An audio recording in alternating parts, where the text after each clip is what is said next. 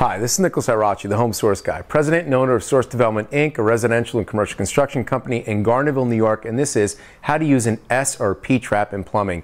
Now, the S or P trap represents the shape of the uh, actual trap.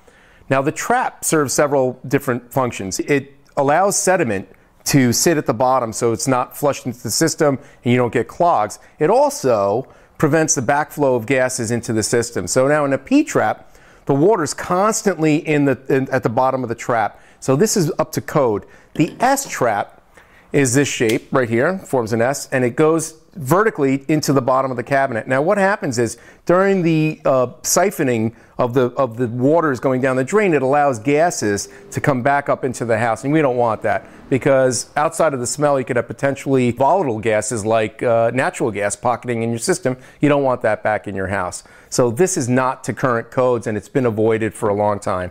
This is the Home Source Guy helping you build a better life and we'll see you next time.